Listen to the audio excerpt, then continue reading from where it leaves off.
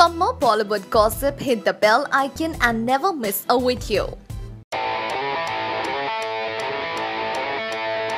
Salman Khan was seen with Harun Robert, the graffiti artist who worked wonders with the Tubelight poster that he painted. Well, for starters, let us tell you that Tubelight is the upcoming Salman flick to be released in a week's time, and there have been innumerable promos and pictures regarding the same. Salman himself, a great painter, has always loved to be a part of the art culture and this graffiti sure would be a welcome for him. Anyway, here is Harun Robert with the Bhaijan and don't you remember the graffiti poster that we shared some time back?